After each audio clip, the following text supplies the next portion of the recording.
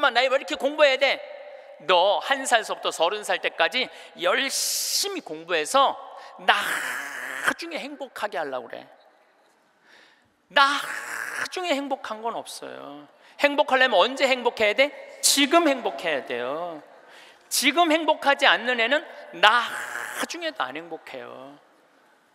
여러분들도 마찬가지입니다. 많은 분들이 어, 나는 이제 아파트도 사놓고 애들 결혼도 시켜놓고 내가 이제 60살서부터 나중에 행복해야지.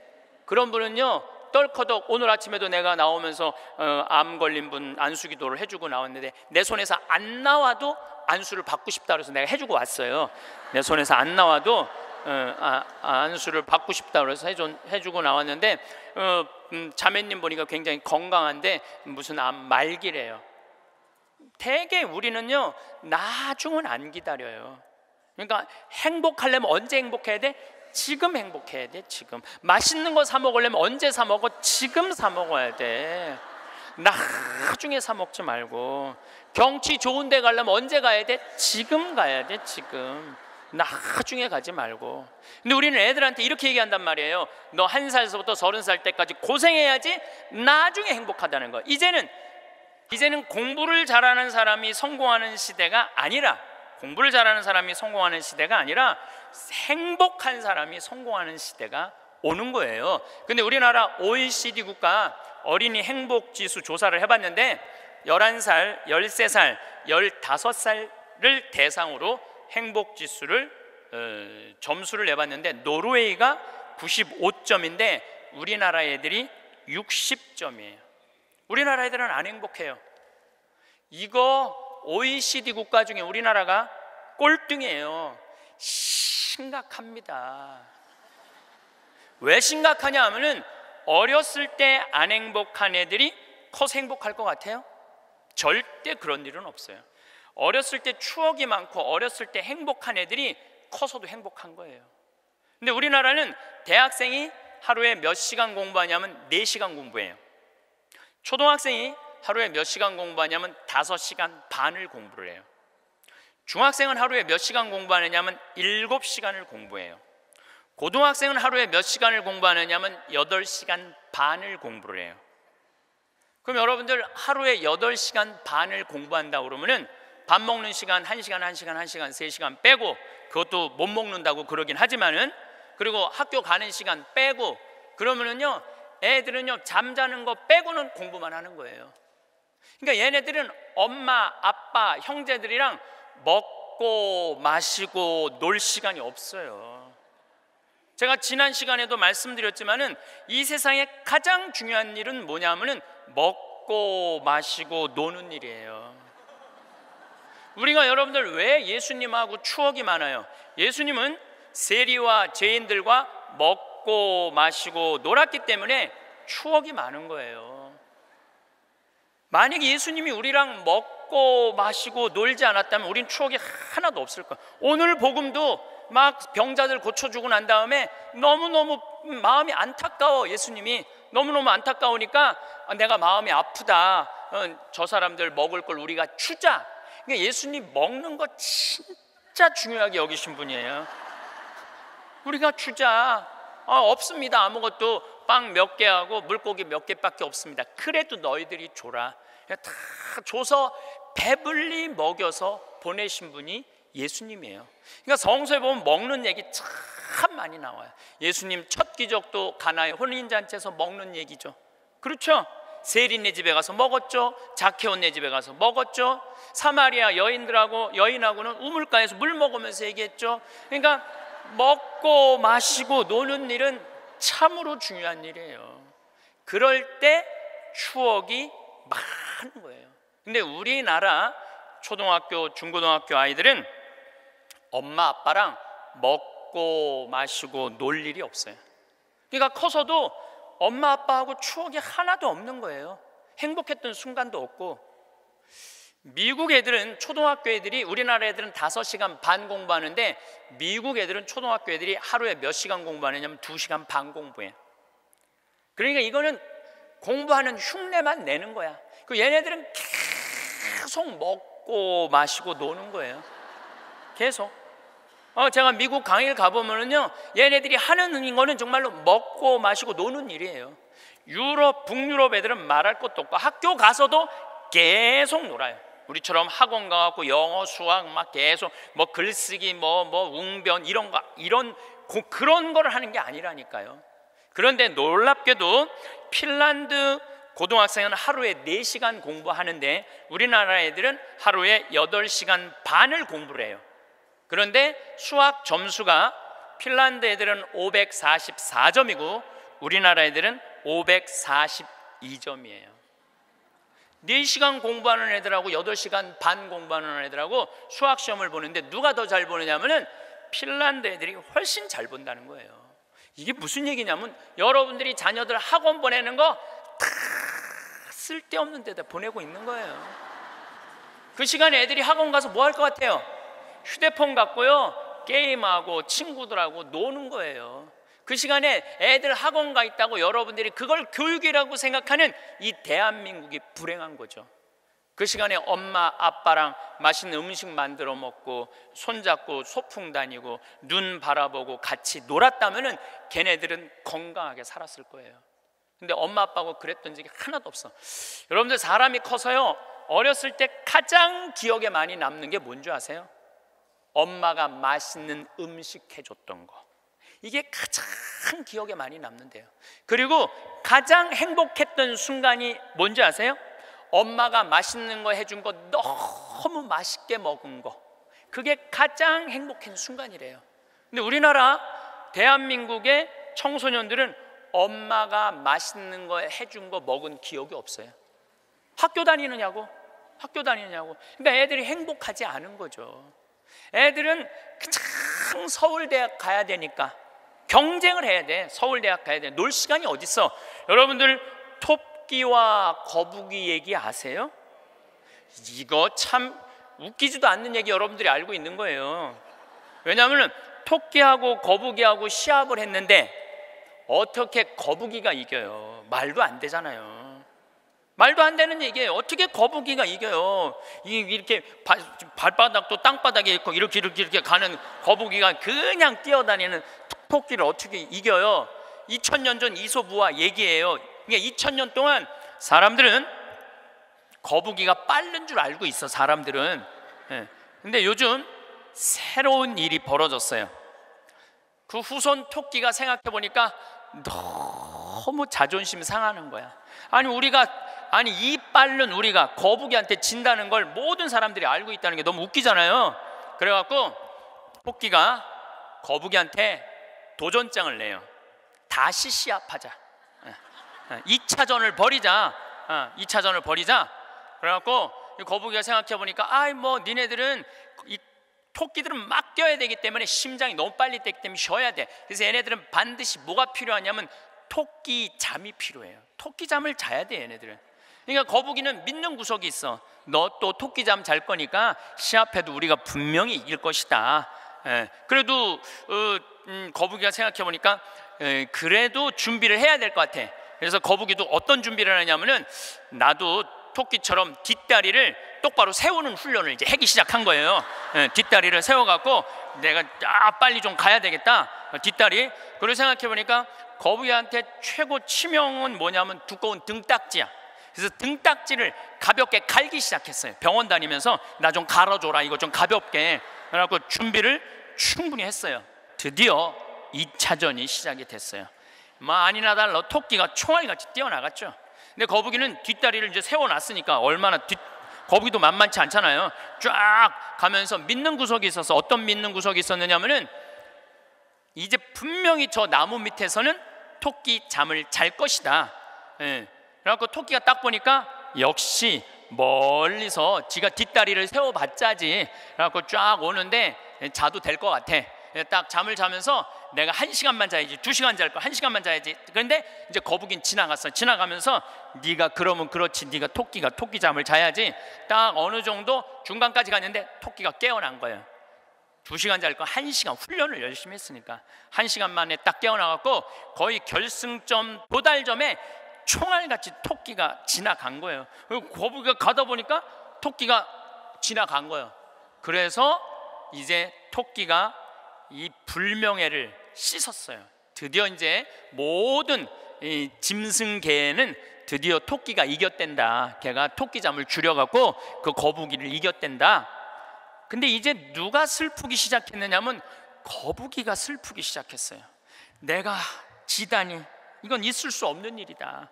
내가 2000년 동안 거북이의 그 성실성 하나로 예, 거북이가 토끼를 이겼다고 모든 세상이 다 알고 있는데 내가 이게 지다니 이건 있을 수 없는 일이다. 절치부심한 거북이가 다시 토끼한테 보존장을 냈어요. 한 번 더 붙자. 삼세판이다. 삼세판. 한 번 더 붙자. 어, 토끼가 그래? 아, 뭐 그러면은 귀양 내가 명예를 씻으려면 완전히 씻어야 되니까 한 번 더 붙자. 이번에 거북이는 한무리 생각해도 뒷다리 갖고는 안 될 것 같아. 앞다리까지 세우는 훈련을 한 거. 이거를 이렇게 똑바로 세우는 훈련을 한 거야.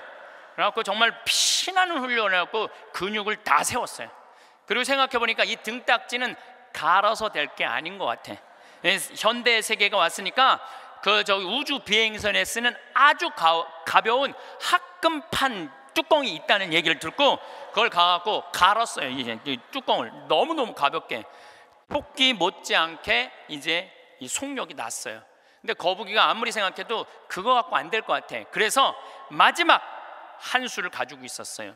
분명히 토끼가 저 나무 밑에서 잘 거니까 저 나무 밑에 수면제를 이 분말가루를 설치를 해둬 갖고 리모컨으로 터트리면은 완전히 내가 보낼 수 있다. 비장의 카드까지 준비해 놓고 이제 도전장을 내민 거죠.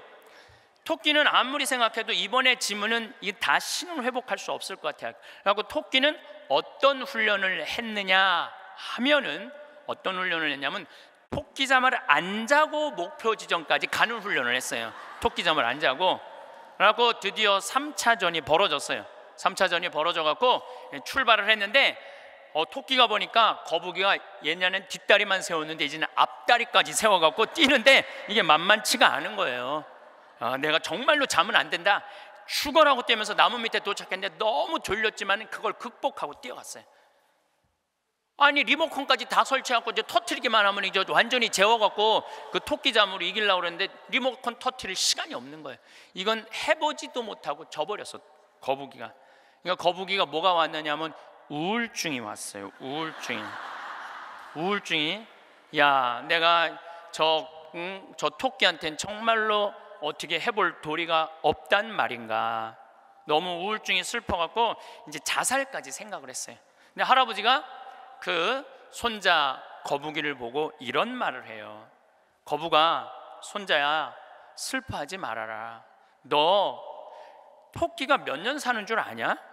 잘 모르는데요. 토끼는 그렇게 죽어라고 뛰기 때문에 토끼 수명은 7년이다. 7년. 근데 우리 거북이들은 수명이 얼마인 줄 아냐? 우리 거북이들은 할아버지가 지금 몇 살이에요? 내가 지금 190살이다. 우리 거북이는 느리기 때문에 수명이 200살이다. 너는 느린 게 네 본질인데 왜 토끼 길라고 그 되지도 않는 뒷다리 앞다리 세우고 왜 그렇게 인생을 힘들게 사느냐? 너는 천천히 사는 게 너의 운명이다. 그 생각을 해보니까 가만히 생각해 되지도 않는 시합을 2000년 동안 한 자기 거북이하고 토끼 그게 웃긴 거예요. 그래서 이 거북이는 천천히 다니고 자기의 그 본성을 본성에 따라 사니까 사는 게 너무너무 즐거워요. 그러니까 아 느린 게 빠른 것보다 훨씬 좋구나. 빠르면 7년밖에 못 사는데 느리니까 200년을 사니까 아무리 토끼가 빠르면 왜 빨리 죽는데 그런데 그런데 지금 대한민국은 우리 자녀들을 거북이로 안 키우고 뭘로 키우냐면 토끼로 키우고 있어요. 토끼로 7년밖에 안 살릴 생각을 하고 토끼로 키우고 있어요. 그렇게 가장 큰 희생자가 된 사람이 누구냐면은 사도세자예요. 여러분도 사도세자 얘기 알죠? 네, 사도세자가 언제 죽었느냐면 1762년 이모년에 5월 13일 날 뒤주에 들어가고 5월 22일 날 죽었어요. 8일 동안 있다가 그런데 이 사도세자는 아버지가 영조인데 아버지의 첫째 아들이 효장 세자가 있었는데 아홉 살에 죽어요. 아홉 살에 죽다가 다 마흔이 넘어서 아들 하나를 얻어요. 이게 바로 이 선, 정조는 이 산, 정조의 아버지인 사도세자의 진짜 이름은 이 선이에요. 사도세자는 죽고 난 다음에 영조가 세워 이, 불, 불러준 이름 슬픔을 생각해라 생각살자 슬플 도자 그래갖고 사도세자고 진짜 이름은 이 선이에요. 그러니까 마흔이 넘어서 아들을 하나 얻었으니까 효장세자가 죽고 난 다음에 너무너무 슬펐는데 이 영조는 이 아들이 너무너무 귀했던 거야. 그래갖고 두 살에 사도 세자 책봉을 해요. 근데 얘가 얼마나 똑똑했느냐 하면은 두 살 때 왕자라는 한자를 보고 아버지가 이게 무슨 자냐 그러면 아버지를 가르쳤어요. 이게 아버지 자다 왕자를 보고 세 자짜리를 보고 이거는 누구 무슨 자냐 이건 나다 두 살짜리가 다섯 살 때 효경을 줄줄줄줄 외워요. 영조라는 임금은 공부하기 너무너무 좋아했던 임금이거든요. 그러니까 이게 진짜 똑똑한 놈 한번 만들어 보겠다고 똑똑한 놈 만들어 보겠다고 선생을 몇 명을 데리느냐 드리냐면 스무 명을 드려요. 그래갖고 아침, 점심, 저녁으로 가르치는 거야. 계속 가르치는 거야. 그리고 이제 시험을 아버지가 나와서 보는 거예요. 너 사서 삼경에 이게 무슨 뜻이냐? 그러면 스무 명이 둘러 있고 다섯 살, 여섯 살짜리가 까먹을 수도 있잖아요.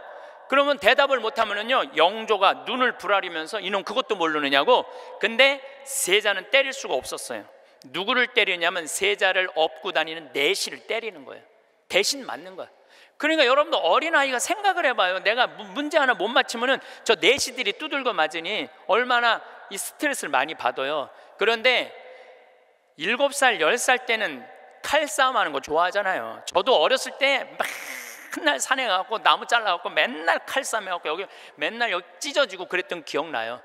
이, 이, 이 선은 상궁들하고 칼싸움을 해요. 그걸 본 영조는요, 이 상궁들을 때려 죽여요. 때려 죽여요, 그냥. 그걸 보고 이, 사, 이 사도세자는 너무너무 무서웠던 거야, 아버지가. 그런데 딱 12살이 되면서 사도세자는 공부하기가 싫어요. 그래서 이때부터 책만 보면 머리가 지끈지끈 아픈 거예요. 그러니까 조기 교육의 최고의 희생자는 누구냐면은 사도세자예요.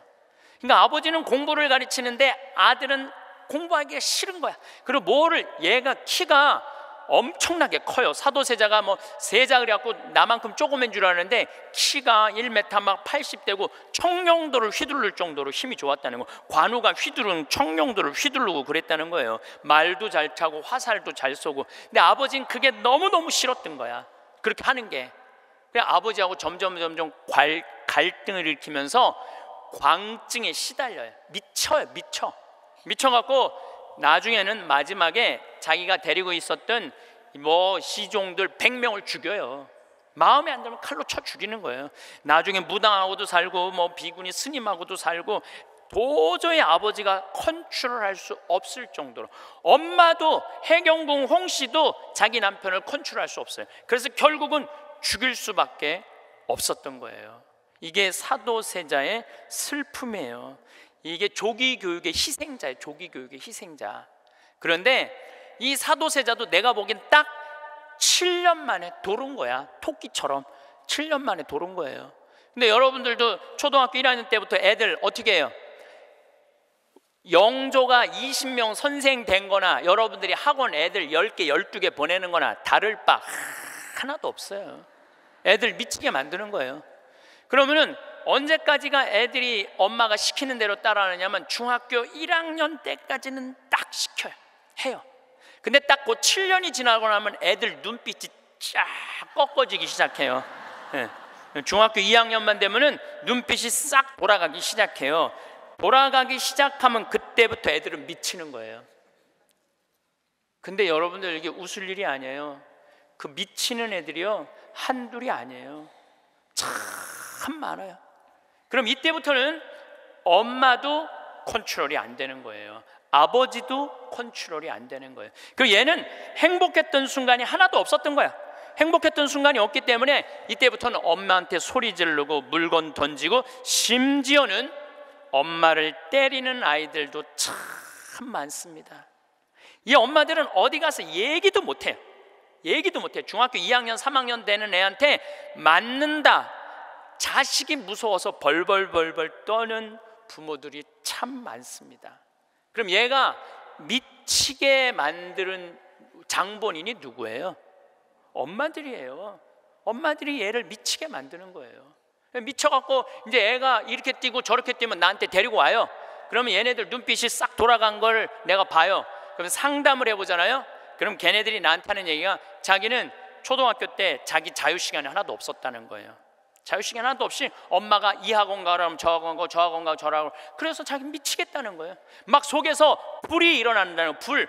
이 사도세자가 뭐라 하냐면 자기 속에서는 울화증이 일어났다. 울화증이.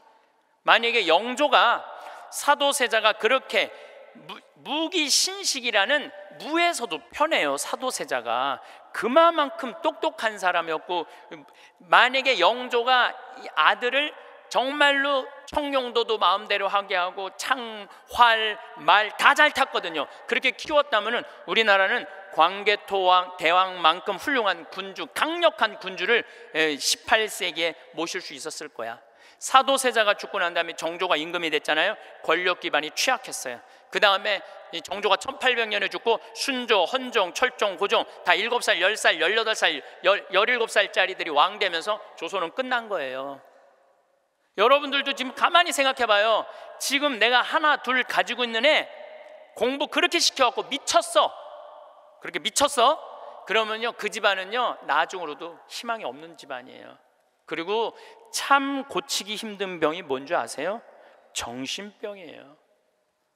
제가 수많은 사람들을 만나면서 수많은 아이들을 만나면서 가장 고치기 힘든 병이 정신병이에요. 우울증이라든가 조울증이라든가 이렇게 걸린 사람들은 평생 병원에 들락날락하고 평생 약 먹다가 결국은 그렇게 죽는 거예요. 근데 자기 자식을 뒤주에 가둬서 죽이지는 않지만 여기 있는 분들 중에 뒤주에 가둬서 죽일 사람은 없지만은 그렇게 미치게 만드는 부모들이 참 많다는 거예요. 미치게 만드는 거예요. 그놈의 1등 병 때문에. 여러분들 초등학교 때 막 뛰어노는 애 중에 미치는 애들은 없어요. 초등학교 때 막 엄마 아빠랑 같이 뛰어놀고 들로 산으로 뭐 친구들하고 어울리고 엄마 아빠하고 먹고 마시고 논 아이들 중에 미치는 애들은 없어요. 어떤 애들이 미치냐면 되지도 않는 머리 돌아가지도 않는 책상에서 학원에서 시달리면서 미치는 애들이 많은 거죠. 거북이가 등딱지 학금으로 바꾸듯이 자식 영어 발음 좋게 한다고 혀 이렇게 늘리는 수술하고 초등학생들한테 10개씩 학원 다니게 하는 일이 자식 미치게 만드는 일이에요. 이렇게 얘기해요. 엄마 나이 왜 이렇게 공부해야 돼? 너 한 살서부터 서른 살 때까지 열심히 공부해서 나중에 행복하게 하려고 그래. 나중에 행복한 건 없어요. 행복하려면 언제 행복해야 돼? 지금 행복해야 돼요. 지금 행복하지 않는 애는 나중에도 안 행복해요. 여러분들도 마찬가지입니다. 많은 분들이 어, 나는 이제 아파트도 사놓고 애들 결혼도 시켜놓고 내가 이제 60살서부터 나중에 행복해야지. 그런 분은요 떨커덕 오늘 아침에도 내가 나오면서 어, 암 걸린 분 안수 기도를 해주고 나왔는데 내 손에서 안 나와도 안수를 받고 싶다 그래서 내가 해주고 왔어요. 내 손에서 안 나와도 안수를 받고 싶다 그래서 해주고 나왔는데 어, 음, 자매님 보니까 굉장히 건강한데 무슨 암 말기래요. 대개 우리는요 나중은 안 기다려요. 그러니까 행복하려면 언제 행복해야 돼? 지금 행복해야 돼. 지금 맛있는 거 사 먹으려면 언제 사 먹어? 지금 사 먹어야 돼. 나중에 사 먹지 말고 경치 좋은 데 가려면 언제 가야 돼? 지금 가야 돼. 지금. 나중에 가지 말고. 근데 우리는 애들한테 이렇게 얘기한단 말이에요. 너 한 살서부터 서른 살 때까지 고생해야지 나중에 행복하다는 거. 이제는 한 살서부터 서른 살까지 공부 죽어라 해도 행복한 시대는 갔어요. 이제 교수 돼도요 일자리 치열합니다. 지금 변호사들 노는 변호사들 수두룩하게 많습니다. 이제는 머리로 사는 애들이 행복한 세상이 오는 게 아니라 몸으로 사는 애들이 행복한 세상이 다가오고 있어요. 나는 어제도 우리 직원이 저녁에 이제 대전에서 강의 끝나고 들어갔는데 고등학교 졸업하고 군대 갔다 와서 학교 대학교 다니다 때려치고 우리 집에 왔어요. 내가 이렇게 물어봤어요. 이리 와봐라 너 예, 오늘 이 강의 준비하면서 너 네가 지금 대학교 4년을 다녔으면은 얼마를 대학에다가 쏟아 넣을 것 같아? 1억 쏟아 넣는데 1억 쏟아 넣지? 어. 근데 너 이제 이, 이제 대학 안 다니니까 1억은 이제 모, 모아놓은 거 아니야? 그럼 그 1억 너한테 안 쏟아놓으면 엄마는 그 돈 갖고 뭐 할 것 같아? 엄마는 노후 대책 연금 붓겠죠. 그래, 엄마는 노후 대책 연금 붓고 너는 1억 저축하고 벌써 니네 집은 2억 벌은 집이다. 대학을 안 다니면 안 다닐수록 돈을 버는 거다. 근데 너 지금 내가 이번에도 월급을 한 1년 안 됐는데 200, 뭐 3, 40만 원 올려줬어요. 우리는 5년만 근무하면 무조건 300만 원씩 받을 받을도록 내가 해주는 거예요. 그럼 너 지금 5년, 4년 근무하면 너 1억 모은다. 기숙사에서 먹고 자고 쓸 일도 없고 거기는 해만 떨어지면 돈 쓸 데도 없어요. 예. 너 그러면은 4년 동안 딴짓 안 하고 착실히 돈 벌으면 너 1억 버는 거야. 그럼 넌 서른 전에 2억짜리 아파트 살 수 있는 거야. 남 뭐 대학 나온 우리나라 지금 대학 나온 45만 명 졸업하는데 제대로 된 직장에 취직하는 숫자가 몇 명이에요? 5만 명밖에 안 돼요. 40만 명은 2년, 3년 빈둥빈둥거리고 심지어는 엄마 아버지가 애들 때문에 경비에 나가갖고 그거 해갖고 애들 생활비 대주고 뒷돈 대주고 그러고 있는 거예요. 그러니까 지금 여러분들 지금 대한민국에서 없애버려야 되는 건 내가 보기엔 대학이야. 대학이야. 대학만 없어지면 전부 어, 일의 소중한 가치를 배우고 다 행복하게 살 수 있어. 아니 대학 졸업하고 딱딱딱 취직하면은 내가 왜 대학을 귀하게 여기지 않아요? 대학 졸업하는 애 거의 반 이상은 빈둥빈둥 놀고 있는데 그러니까 그러니까 우리나라 할머니 60, 70 된 분은 쓸 머리 머리 나쁜 몸으로 살 놈한테 돈 쏟아 넣느냐고 노 세계 빈곤율, 노인 빈곤율이 우리나라가 1위예요. 1위예요, 1위. 돈이 없어요, 다른데. 다른 나라 사람들은 나이를 먹으면 얼마나 럭셔리하게 사는데요. 놀지도 못하고 죽어라 30살까지 나중에 행복하려고 공부했는데 취직 안 되면 그 허탈감, 좌절, 이거는 어른들은 상상할 수 없을 만큼 힘든 거예요. 상상할 수 없을 만큼. 한 세 달 전에 아주 이쁘장한 음, 여자 아이가 절 찾아왔어요. 공부도 굉장히 잘하는 아이예요. 공무원 시험을 보는데 계속 세 번인가 네 번 떨어진 거예요. 너무 너무 좌절감, 우울증에 시달려 아이예요. 예, 날 찾아왔어요. 내가 얘기했어요. 꼭 공무원을 해야 되냐? 꼭 좋은 회사를 가야 되냐? 그냥 내가 즐겁게 일하고 그냥 행복하게 살면 되지. 왜 그 힘든 목표를 세워놓고 계속 좌절감을 느끼느냐? 넌 좀 오늘을 좀 행복하게 살아라. 근데 이 친구가 며칠 전에 저한테 메시지 했어요. 신부님 저 취직했어요. 너무너무 행복해요. 눈높이를 조금만 낮추면 우리는 지금 행복할 수 있는데 항상 나중에 행복하려고 눈높이를 너무 높여갖고 그것도 못하고 이것도 못하고 저것도 못하는 거예요 그러니까 우리나라 애들 한 살서부터 서른 살까지 안 행복해. 그럼 서른 살서부터 60살은 행복해요? 서른 살서부터 60살? 안 행복해. 왜 안 행복하냐면 이 서른 살서부터 60살들은 자기 인생이 없어. 왜냐면 한 살서부터 서른 살 된 자식들 뒷바라지 않느냐고 자기 인생이 없는 거야. 그러니까 자기를 위해서 학원을 다녀봤던 적이 없어. 서른 살서부터 60살들은 기타 학원을 다닌다든지 피아노 학원을 다닌다든지 꽃꽂이 학원을 다닌다든지 나처럼 필라테스 학원을 다닌다든지 자기를 위해서 이런 학원을 다녀본 적이 없어. 자기 인생이 없어. 오로지 자식 뒷바라지 않으냐고. 그래서 헬리콥터 맘이라고 그러잖아요. 자식 뒤 뺑글뺑글 따라다니는 거야. 초등학교 유치원 따라다녀, 초등학교 따라다녀, 중고등학교 따라다녀, 심지어는 대학까지 따라다닌다는 거예요. 그래갖고 애 저기 뭐야 커리큘럼 수업 과정 짜주군 엄마들 많아. 그리고 학점이 조금 나오면 교수한테 가서 따진다는 거. 우리 애 학점이 왜 요것밖에 안 주느냐고. 나중에 취직하려면 학점이 높아야 되는데 군대도 뺑글뺑글한데요. 요즘 뭐 카카오톡이 돼갖고 엄마들이 애들 군대 생활을 볼 수 있대요. 그럼 애가 좀만 얼굴이 이상하면은 그 상사한테 그런데요. 왜 우리 어, 애 얼굴이 이러느냐? 뭐가 문제가 있느냐? 그러니까 그 군대 가서도 엄마가 애를 책임져 주는 거야. 그래서 요새 군대 그 저기 상사님들이요 사병 돌보는 일보다 사병 엄마 돌보는 일이 더 바쁘대요. 심지어는 회사까지 따라다니는 거야. 애가 회사에 취직을 했는데 대리 진급을 못하면 부장한테 가서 따진다는 거. 우리 애가 뭐가 모자라서 대리 진급을 못하느냐고. 평생 자식주의를 뺑글뺑글 따라다니는 걸 뭐라고 그러냐면 헬리콥터 맘이라고 그래요. 헬리콥터 맘. 또 어, 아버지들은 요즘은 많이 줄어들었지만 한동안은 기러기 아버지가 40만 명까지 있었어. 40만 명. 기러기 아버지가. 이 기러기 아버지들은요, 자식들을 한 달에 부인 것까지 하려면 700에서 1000만 원을 보내줘야 돼. 그러면은 보통 10년 정도 가 있으면요, 이 기러기 아버지는 10년 동안 인생이 하나도 없는 거예요. 자식도 없고 아내도 없고 돈도 없는데 뭐 돈만 버는 기계로 사는 거야. 그러니까 자기 인생을 못 사는 거. 30살에서부터 60살들은 자기 인생을 자기 인생이 없는 거예요. 근데 문제는 60살 때 60살 때 30살 된 자식이 이렇게 말합니다. 엄마, 이제 엄마 인생 살아. 아, 자기를 위해서 살아봤던 적이 없는데 내 인생을 살으라는 거야. 살 줄을 모르는데 30살에서부터 60살은 뭐 해야 되는 나이냐면요. 자아실현 해야 되는 나이야. 자아실현. 자아실현이라는 게 뭐예요?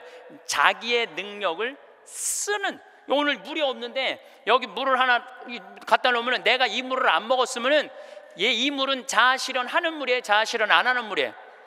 자아실현 안 하는 물이에요. 내가 먹어줘야지 자아실현이 되는 물이에요. 자아실현이 되는 물이에요. 여러분들이 샴푸를 하나 샀어. 그럼 샴푸를 사, 사면은 그 샴푸를 한 방울까지 다 쓰면은 여러분들 기분 좋아요? 안 좋아요 그 샴푸는 나한테 와서 자기 능력을 다 썼어요 안 썼어요 그럼 자아 실현 한 거야 안 하는 거예요?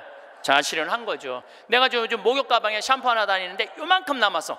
그 짜서 쓸 때마다 기분이 너무 좋아요. 너 이제 자아 실현 다 돼가는구나 이제 자기 능력 다 썼으니까. 우리 사제관에 예, 개가 한 마리 있어요. 문수라는 개가 있는데 얘가요 딱 사제관에 도착하면은요 총알같이 튀어나와요 자기 집에서. 그리고 요만한 개가 내 가슴까지 뛰어 올라와요. 그리고 놀라운 거는요 얘가 사제관에 신부들이 오면 안 물고 안 짖어요. 근데 여자들만 오면은 잡아 먹을 듯이 짖어요. 진짜로. 그리고 막 엉덩이고 허벅지고 다 깨물어요. 얘 자아실현 하는 게 자아실현 안 하는 게예요. 자아실현 하는 게예요. 근데 우리나라 서른 살서부터 60살 된 많은 분들은 자기 능력을 안 써요. 자기 능력을 안 쓰고 자기 능력을 안 쓰고 자식만을 위해서 살아요.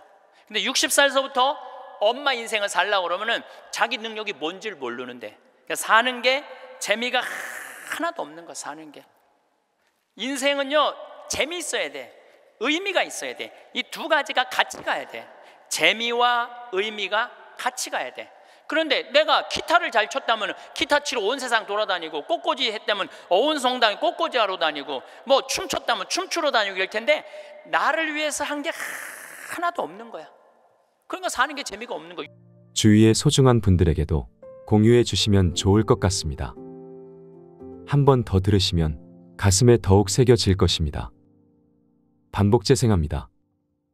이제는 공부를 잘하는 사람이 성공하는 시대가 아니라 공부를 잘하는 사람이 성공하는 시대가 아니라 행복한 사람이 성공하는 시대가 오는 거예요. 근데 우리나라 OECD 국가 어린이 행복 지수 조사를 해봤는데 11살, 13살, 15살을 대상으로 행복 지수를 어, 점수를 내봤는데 노르웨이가 95점인데 우리나라 애들이 60점이에요.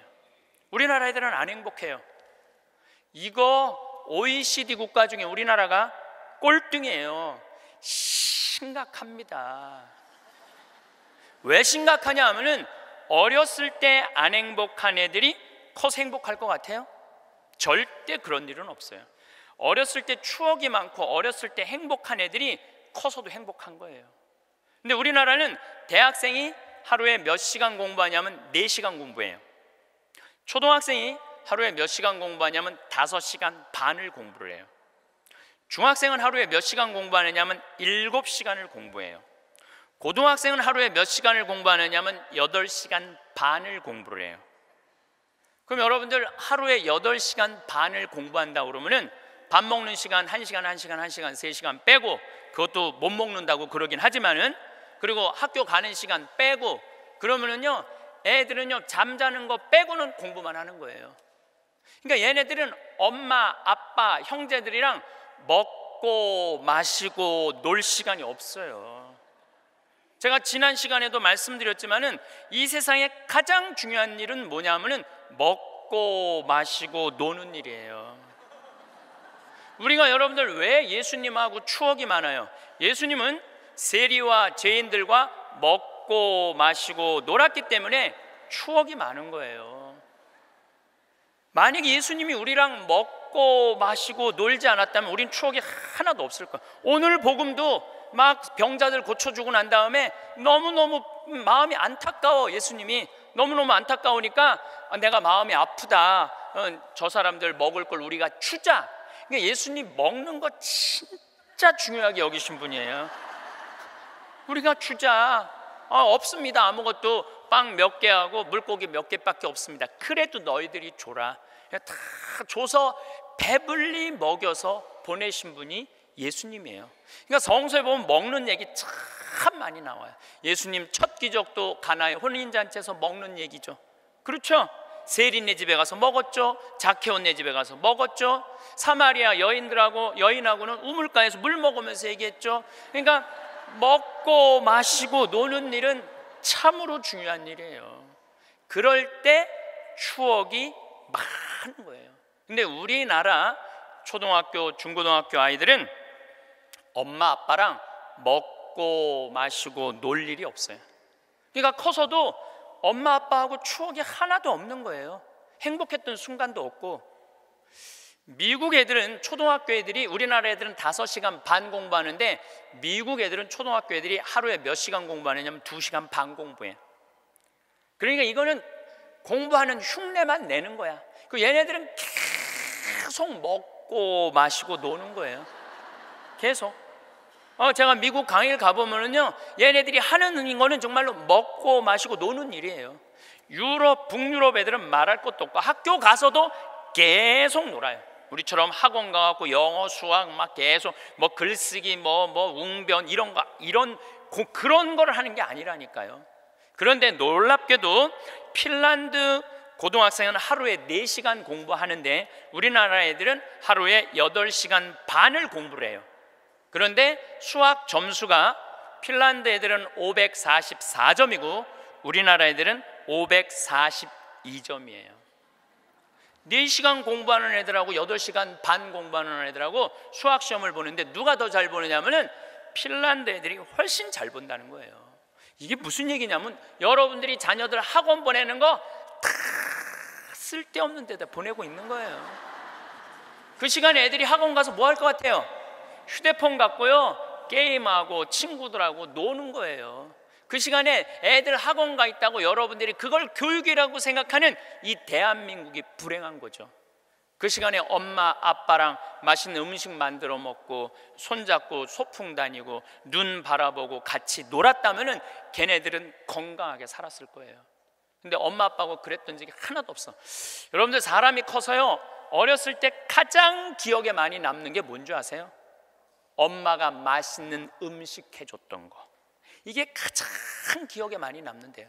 그리고 가장 행복했던 순간이 뭔지 아세요? 엄마가 맛있는 거 해준 거 너무 맛있게 먹은 거. 그게 가장 행복한 순간이래요. 근데 우리나라 대한민국의 청소년들은 엄마가 맛있는 거 해준 거 먹은 기억이 없어요. 학교 다니느냐고? 학교 다니느냐고? 그러니까 애들이 행복하지 않은 거죠. 애들은 참 서울대학 가야 되니까 경쟁을 해야 돼. 서울대학 가야 돼. 놀 시간이 어디 있어? 여러분들 토끼와 거북이 얘기 아세요? 이거 참 웃기지도 않는 얘기 여러분들이 알고 있는 거예요. 왜냐하면 토끼하고 거북이하고 시합을 했는데 어떻게 거북이가 이겨요? 말도 안 되잖아요. 말도 안 되는 얘기예요. 어떻게 거북이가 이겨요? 이렇게 발바닥도 땅바닥에 있고 이렇게 이렇게 이렇게 가는 거북이가 그냥 뛰어다니는 토끼를 어떻게 이겨요? 2000년 전 이소부와 얘기예요. 그러니까 2000년 동안 사람들은 거북이가 빠른 줄 알고 있어. 사람들은. 예. 근데 요즘 새로운 일이 벌어졌어요. 그 후손 토끼가 생각해 보니까 너무 자존심 상하는 거야. 아니 우리가 아니 이 빠른 우리가 거북이한테 진다는 걸 모든 사람들이 알고 있다는 게 너무 웃기잖아요. 그래갖고 토끼가 거북이한테 도전장을 내요. 다시 시합하자.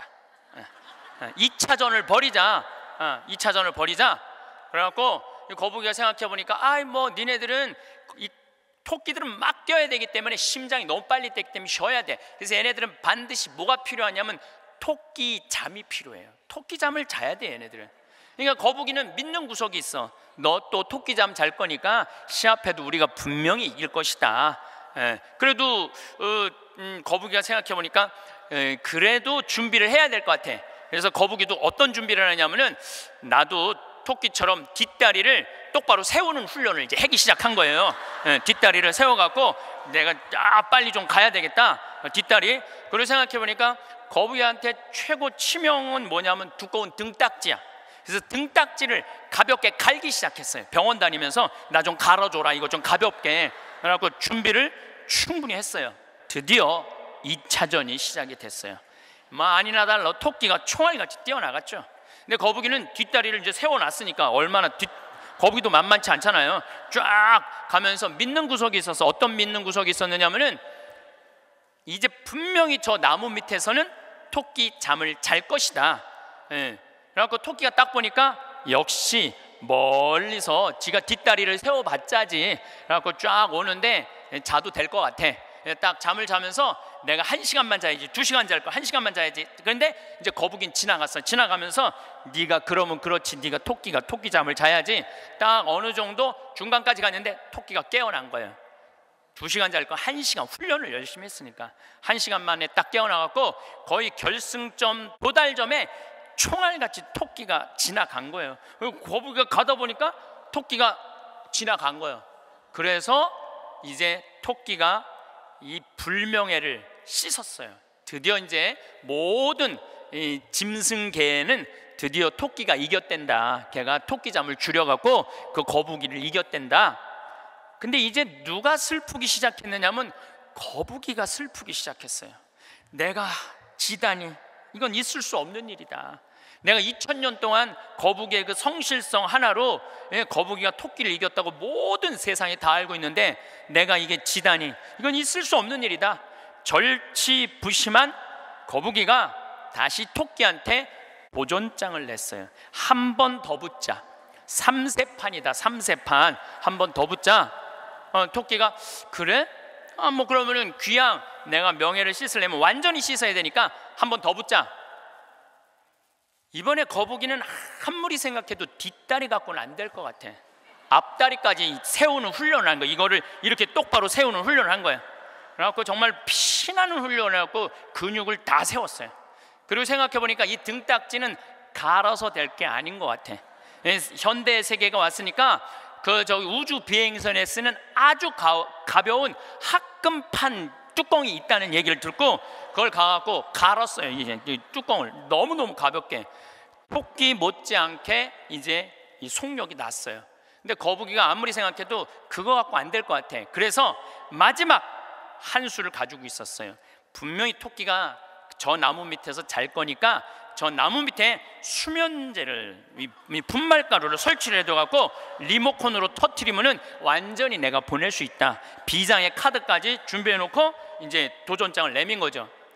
토끼는 아무리 생각해도 이번에 지문은 이 다시는 회복할 수 없을 것 같아요. 그리고 토끼는 어떤 훈련을 했느냐 하면은 어떤 훈련을 했냐면 토끼 잠을 안 자고 목표 지점까지 가는 훈련을 했어요. 토끼 잠을 안 자고 그래갖고 드디어 3차전이 벌어졌어요. 3차전이 벌어져 갖고 출발을 했는데 어, 토끼가 보니까 거북이가 옛날엔 뒷다리만 세웠는데 이제는 앞다리까지 세워갖고 뛰는데 이게 만만치가 않은 거예요. 아, 내가 정말로 자면 안 된다.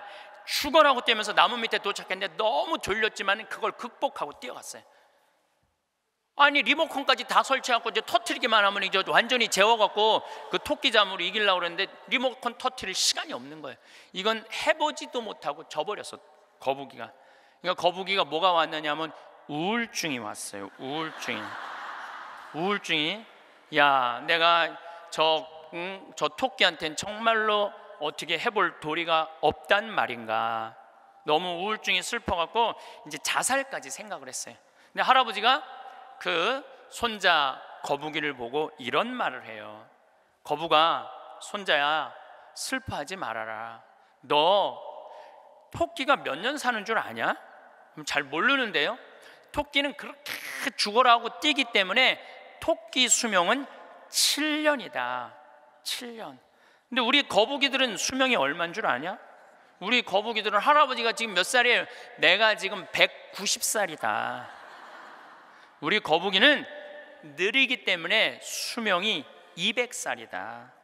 너는 느린 게 네 본질인데 왜 토끼 길라고 그 되지도 않는 뒷다리 앞다리 세우고 왜 그렇게 인생을 힘들게 사느냐? 너는 천천히 사는 게 너의 운명이다. 그 생각을 해보니까 가만히 생각해 되지도 않는 시합을 2000년 동안 한 자기 거북이하고 토끼 그게 웃긴 거예요. 그래서 이 거북이는 천천히 다니고 자기의 그 본성을 본성에 따라 사니까 사는 게 너무너무 즐거워요.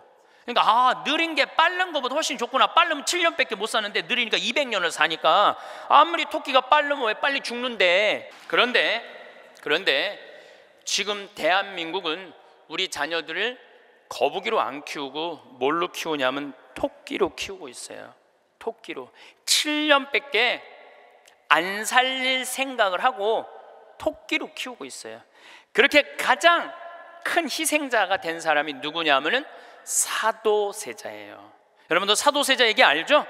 네, 사도세자가 언제 죽었느냐면 1762년 이모년에 5월 13일 날 뒤주에 들어가고 5월 22일 날 죽었어요. 8일 동안 있다가 그런데 이 사도세자는 아버지가 영조인데 아버지의 첫째 아들이 효장 세자가 있었는데 9살에 죽어요. 9살에 죽다가 마흔이 넘어서 아들 하나를 얻어요. 이게 바로 이 선, 정조는 이 산, 정조의 아버지인 사도세자의 진짜 이름은 이 선이에요. 사도세자는 죽고 난 다음에 영조가 세워 불러준 이름 슬픔을 생각해라 생각살자 슬플 도자 그래갖고 사도세자고 진짜 이름은 이 선이에요. 그러니까 마흔이 넘어서 아들을 하나 얻었으니까 효장세자가 죽고 난 다음에 너무너무 슬펐는데 이 영조는 이 아들이 너무너무 귀했던 거야. 그래갖고 두 살에 사도 세자 책봉을 해요.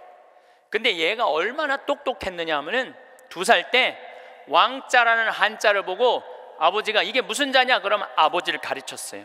이게 아버지 자다 왕자를 보고 세 자짜리를 보고 이거는 누구 무슨 자냐 이건 나다 두 살짜리가 다섯 살 때 효경을 줄줄줄줄 외워요. 영조라는 임금은 공부하기 너무너무 좋아했던 임금이거든요. 그러니까 이게 진짜 똑똑한 놈 한번 만들어 보겠다고 똑똑한 놈 만들어 보겠다고 선생을 몇 명을 데리느냐 드리냐면 20명을 드려요. 그래갖고 아침, 점심, 저녁으로 가르치는 거야. 계속 가르치는 거야. 그리고 이제 시험을 아버지가 나와서 보는 거예요. 너 사서 삼경에 이게 무슨 뜻이냐? 그러면 20명이 둘러 있고 5살, 6살짜리가 까먹을 수도 있잖아요. 그러면 대답을 못하면은요 영조가 눈을 부라리면서 이놈 그것도 모르느냐고 근데 세자는 때릴 수가 없었어요 누구를 때리냐면 세자를 업고 다니는 내시를 때리는 거예요 대신 맞는 거예요 그러니까 여러분도 어린아이가 생각을 해봐요 내가 문제 하나 못 맞히면은 저 내시들이 두들겨 맞으니 얼마나 이 스트레스를 많이 받아요 그런데 일곱 살, 열살 때는 칼싸움 하는 거 좋아하잖아요 저도 어렸을 때막 맨날 산에 가고 나무 잘라갖고 맨날 칼싸움 해갖고 여기 맨날 여기 찢어지고 그랬던 기억나요. 이, 이, 이 선은 상궁들하고 칼싸움을 해요. 그걸 본 영조는요, 이 상궁들을 때려 죽여요. 때려 죽여요, 그냥. 그걸 보고 이, 사, 이 사도세자는 너무너무 무서웠던 거야, 아버지가. 그런데 딱 12살이 되면서 사도세자는 공부하기가 싫어요. 그래서 이때부터 책만 보면 머리가 지끈지끈 아픈 거예요. 그러니까 조기 교육의 최고의 희생자는 누구냐면은 사도세자예요. 그러니까 아버지는 공부를 가르치는데 아들은 공부하기가 싫은 거야. 그리고 뭐를 얘가 키가 엄청나게 커요. 사도세자가 뭐 세자 그래갖고 나만큼 조그만 줄 아는데 키가 1m 막 80대고 청룡도를 휘두를 정도로 힘이 좋았다는 거. 관우가 휘두른 청룡도를 휘두르고 그랬다는 거예요. 말도 잘 타고 화살도 잘 쏘고. 근데 아버지는 그게 너무 너무 싫었던 거야. 그렇게 하는 게. 그래 아버지하고 점점 점점 괄, 갈등을 일으키면서 광증에 시달려요. 미쳐요, 미쳐. 미쳐갖고 나중에는 마지막에 자기가 데리고 있었던 뭐 시종들 100명을 죽여요. 마음에 안 들면 칼로 쳐 죽이는 거예요.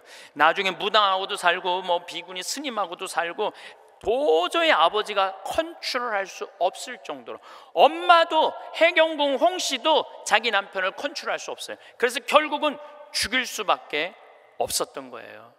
이게 사도세자의 슬픔이에요. 이게 조기 교육의 희생자예요. 조기 교육의 희생자.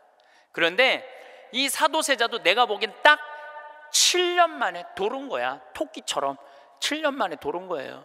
근데 여러분들도 초등학교 1학년 때부터 애들 어떻게 해요? 영조가 20명 선생 된 거나 여러분들이 학원 애들 10개, 12개 보내는 거나 다를 바 하나도 없어요.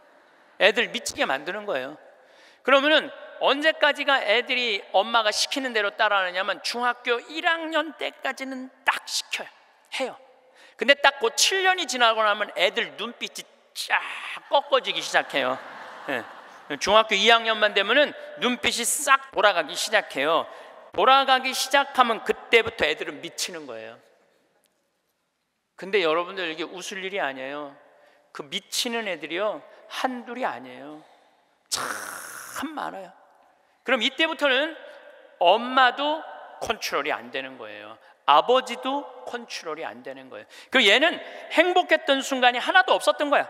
행복했던 순간이 없기 때문에 이때부터는 엄마한테 소리 지르고 물건 던지고 심지어는 엄마를 때리는 아이들도 참 많습니다. 이 엄마들은 어디 가서 얘기도 못 해요. 얘기도 못해. 중학교 2학년, 3학년 되는 애한테 맞는다. 자식이 무서워서 벌벌벌벌 떠는 부모들이 참 많습니다. 그럼 얘가 미치게 만드는 장본인이 누구예요? 엄마들이에요. 엄마들이 얘를 미치게 만드는 거예요. 미쳐갖고 이제 애가 이렇게 뛰고 저렇게 뛰면 나한테 데리고 와요. 그러면 얘네들 눈빛이 싹 돌아간 걸 내가 봐요. 그럼 상담을 해보잖아요. 그럼 걔네들이 나한테 하는 얘기가 자기는 초등학교 때 자기 자유 시간이 하나도 없었다는 거예요. 자유 시간 하나도 없이 엄마가 이 학원 가라면 저 학원 가고 저 학원 가고 저 학원 그래서 자기 미치겠다는 거예요. 막 속에서 불이 일어난다는 불. 이 사도세자가 뭐라 하냐면 자기 속에서는 울화증이 일어났다. 울화증이. 만약에 영조가 사도세자가 그렇게 무기신식이라는 무에서도 편해요. 사도세자가 그만큼 똑똑한 사람이었고 만약에 영조가 아들을 정말로 청룡도도 마음대로 하게 하고 창, 활, 말 다 잘 탔거든요. 그렇게 키웠다면은 우리나라는 광개토왕 대왕만큼 훌륭한 군주, 강력한 군주를 18세기에 모실 수 있었을 거야. 사도세자가 죽고 난 다음에 정조가 임금이 됐잖아요. 권력 기반이 취약했어요. 그 다음에 정조가 1800년에 죽고 순조, 헌종, 철종, 고종 다 7살, 10살, 18살, 17살짜리들이 왕 되면서 조선은 끝난 거예요. 여러분들도 지금 가만히 생각해 봐요. 지금 내가 하나, 둘 가지고 있는 애 공부 그렇게 시켜갖고 미쳤어. 그렇게 미쳤어? 그러면요, 그 집안은요, 나중으로도 희망이 없는 집안이에요. 그리고 참 고치기 힘든 병이 뭔지 아세요? 정신병이에요. 제가 수많은 사람들을 만나면서 수많은 아이들을 만나면서 가장 고치기 힘든 병이 정신병이에요. 우울증이라든가 조울증이라든가 이렇게 걸린 사람들은 평생 병원에 들락날락하고 평생 약 먹다가 결국은 그렇게 죽는 거예요. 근데 자기 자식을 뒤주에 가둬서 죽이지는 않지만 여기 있는 분들 중에 뒤주에 가둬서 죽일 사람은 없지만은 그렇게 미치게 만드는 부모들이 참 많다는 거예요. 미치게 만드는 거예요. 그놈의 1등 병 때문에. 여러분들 초등학교 때 막 뛰어노는 애 중에 미치는 애들은 없어요. 초등학교 때 막 엄마 아빠랑 같이 뛰어놀고 들로 산으로 뭐 친구들하고 어울리고 엄마 아빠하고 먹고 마시고 논 아이들 중에 미치는 애들은 없어요. 어떤 애들이 미치냐면 되지도 않는 머리 돌아가지도 않는 책상에서 학원에서 시달리면서 미치는 애들이 많은 거죠. 거북이가 등딱지 학금으로 바꾸듯이 자식 영어 발음 좋게 한다고 혀 이렇게 늘리는 수술하고 초등학생들한테 10개씩 학원 다니게 하는 일이 자식 미치게 만드는 일이에요. 이렇게 얘기해요. 엄마 나이 왜 이렇게 공부해야 돼? 너 한 살서부터 서른 살 때까지 열심히 공부해서 나중에 행복하게 하려고 그래. 나중에 행복한 건 없어요. 행복하려면 언제 행복해야 돼? 지금 행복해야 돼요. 지금 행복하지 않는 애는 나 중에도 안 행복해요. 여러분들도 마찬가지입니다. 많은 분들이 어, 나는 이제 아파트도 사놓고 애들 결혼도 시켜놓고 내가 이제 60살서부터 나중에 행복해야지. 그런 분은요 떨커덕 오늘 아침에도 내가 나오면서 어, 암 걸린 분 안수 기도를 해주고 나왔는데 내 손에서 안 나와도 안수를 받고 싶다 그래서 내가 해주고 왔어요. 내 손에서 안 나와도 안수를 받고 싶다 그래서 해주고 나왔는데 어, 음, 자매님 보니까 굉장히 건강한데 무슨 암 말기래요. 대개 우리는요 나중은 안 기다려요. 그러니까 행복하려면 언제 행복해야 돼? 지금 행복해야 돼. 지금 맛있는 거 사 먹으려면 언제 사 먹어? 지금 사 먹어야 돼. 나중에 사 먹지 말고 경치 좋은 데 가려면 언제 가야 돼? 지금 가야 돼. 지금. 나중에 가지 말고. 근데 우리는 애들한테 이렇게 얘기한단 말이에요. 너 한 살서부터 서른 살 때까지 고생해야지 나중에 행복하다는 거. 이제는 한 살서부터 서른 살까지 공부 죽어라 해도 행복한 시대는 갔어요. 이제 교수대도요 일자리 치열합니다. 지금 변호사들 노는 변호사들 수두룩하게 많습니다. 이제는 머리로 사는 애들이 행복한 세상이 오는 게 아니라 몸으로 사는 애들이 행복한 세상이 다가오고 있어요. 나는 어제도 우리 직원이 저녁에 이제 대전에서 강의 끝나고 들어갔는데 고등학교 졸업하고 군대 갔다 와서 학교 대학교 다니다 때려치고 우리 집에 왔어요. 내가 이렇게 물어봤어요. 이리 와봐라 너 오늘 강의 준비하면서 너 네가 지금 대학교 4년을 다녔으면은 얼마를 대학에다가 쏟아 넣을 것 같아? 1억 쏟아 넣는데 1억 쏟아 넣지? 어. 근데 너 이제 이 제 대학 안 다니니까 1억은 이제 모아 놓은 거 아니야? 그럼 그 1억 너한테 안 쏟아 놓으면 엄마는 그 돈 갖고 뭐 할 것 같아? 엄마는 노후 대책 연금 붓겠죠. 그래 엄마는 노후 대책 연금 붓고 넌 1억 저축하고 벌써 니네 집은 2억 벌은 집이다. 대학을 안 다니면 안 다닐수록 돈을 버는 거다. 근데 너 지금 내가 이번에도 월급을 한 1년 안 됐는데 200, 뭐 3, 40만 원 올려줬어요. 우리는 5년만 근무하면 무조건 300만 원씩 받을 받을도록 내가 해주는 거예요. 그럼 너 지금 5년, 4년 근무하면 너 1억 모은다. 기숙사에서 먹고 자고 쓸 일도 없고 거기는 해만 떨어지면 돈 쓸 데도 없어요. 예. 너 그러면은 4년 동안 딴짓 안 하고 착실히 돈 벌으면 너 1억 버는 거야. 그럼 넌 서른 전에 2억짜리 아파트 살 수 있는 거야. 남 뭐 대학 나온 우리나라 지금 대학 나온 45만 명 졸업하는데 제대로 된 직장에 취직하는 숫자가 몇 명이에요? 5만 명밖에 안 돼요. 40만 명은 2년, 3년 빈둥빈둥거리고 심지어는 엄마 아버지가 애들 때문에 경비에 나가갖고 그거 해갖고 애들 생활비 대주고 뒷돈 대주고 그러고 있는 거예요. 그러니까 지금 여러분들 지금 대한민국에서 없애버려야 되는 건 내가 보기엔 대학이야. 대학이야. 대학만 없어지면 전부 어, 일의 소중한 가치를 배우고 다 행복하게 살 수 있어. 아니 대학 졸업하고 딱딱딱 취직하면은 내가 왜 대학을 귀하게 여기지 않아요? 대학 졸업하는 애 거의 반 이상은 빈둥빈둥 놀고 있는데 그러니까 그러니까 우리나라 할머니 60, 70된 분은 쓸 머리 머리 나쁜 몸으로 살 놈한테 돈 쏟아 넣느냐고 노 세계 빈곤율, 노인 빈곤율이 우리나라가 1위예요. 1위예요, 1위. 돈이 없어요, 다른데. 다른 나라 사람들은 나이를 먹으면 얼마나 럭셔리하게 사는데요.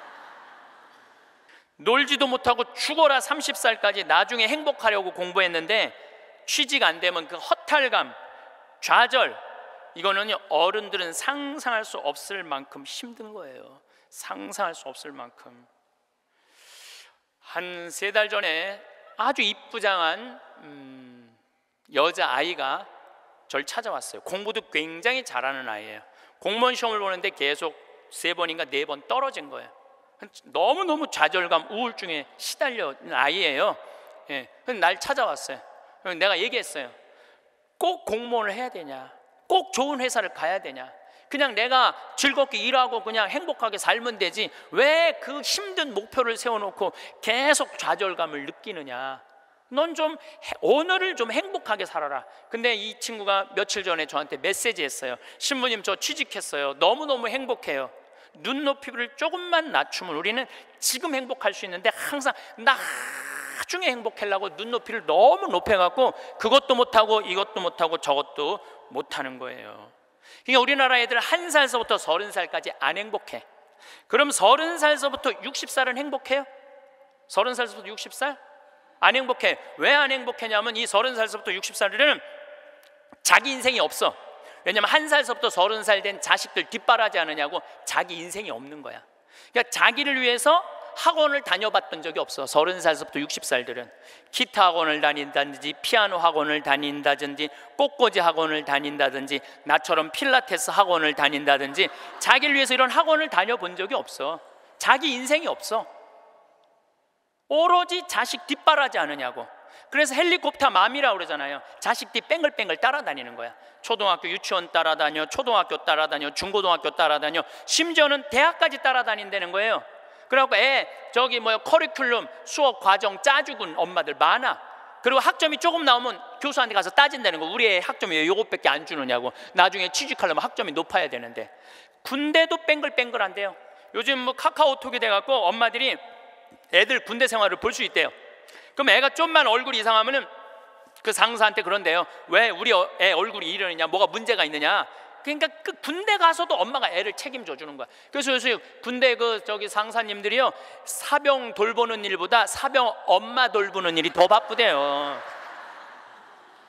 심지어는 회사까지 따라다니는 거야. 애가 회사에 취직을 했는데 대리 진급을 못하면 부장한테 가서 따진다는 거. 우리 애가 뭐가 모자라서 대리 진급을 못해느냐고. 평생 자식주의를 뺑글뺑글 따라다니는 걸 뭐라고 그러냐면 헬리콥터 맘이라고 그래요. 헬리콥터만 또 어, 아버지들은 요즘은 많이 줄어들었지만 한동안은 기러기 아버지가 40만 명까지 있었어 40만 명. 기러기 아버지가. 이 기러기 아버지들은요 자식들 한 달에 부인 것까지 하려면 700에서 1000만 원을 보내줘야 돼. 그러면은 보통 10년 정도 가 있으면요 이 기러기 아버지는 10년 동안 인생이 하나도 없는 거예요. 자식도 없고 아내도 없고 돈도 없는데 뭐 돈만 버는 기계로 사는 거야 그러니까 자기 인생을 못 사는 거 서른 살서부터 60살들은 자기 인생을 자기 인생이 없는 거예요. 근데 문제는 60살 때 60살 때 서른 달된 자식이 이렇게 말합니다. 엄마 이제 엄마 인생 살아. 아, 자기를 위해서 살아봤던 적이 없는데 내 인생을 살으려는 거야. 살 줄을 모르는데 서른 살서부터 60살은 뭐 해야 되는 나이냐면요 자아 실현해야 되는 나이야. 자아 실현. 자아 실현이라는 게 뭐예요? 자기의 능력을 쓰는 오늘 물이 없는데 여기 물을 하나 갖다 놓으면 내가 이 물을 안 먹었으면은 얘 이 물은 자아 실현하는 물이에요. 자아 실현 안 하는 물이에요. 자아 실현 안 하는 물이에요. 내가 먹어줘야지 자아 실현이 되는 물이에요. 자아 실현이 되는 물이에요. 여러분들이 샴푸를 하나 샀어. 그럼 샴푸를 사, 사면은 그 샴푸를 한 방울까지 다 쓰면은 여러분들 기분 좋아요, 안 좋아요? 그 샴푸는 나한테 와서 자기 능력을 다 썼어요 안 썼어요? 그럼 자아 실현 한 거야 안 하는 거예요? 자아 실현 한 거죠. 내가 요즘 목욕 가방에 샴푸 하나 다니는데 요만큼 남았어. 그 짜서 쓸 때마다 기분이 너무 좋아요. 너 이제 자아 실현 다 돼가는구나 이제 자기 능력 다 썼으니까. 우리 사제관에 예, 개가 한 마리 있어요. 문수라는 개가 있는데 얘가요 딱 사제관에 도착하면은요 총알같이 튀어나와요 자기 집에서. 그리고 요만한 개가 내 가슴까지 뛰어 올라와요. 그리고 놀라운 거는요, 얘가 사제관에 신부들이 오면 안 물고 안 짖어요.